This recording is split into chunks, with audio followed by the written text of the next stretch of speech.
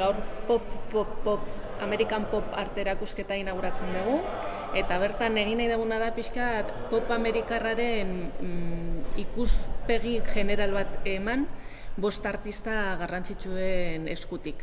Andy Warhol, Roy Lichtenstein, eh, Robert Rauschenberg, Robert Indiana eta Kate Haring. Azkeneko hau pixkat gazteagoa zan, baina oso ondo entronkatu zuen eh, mugimendu ideiarekin.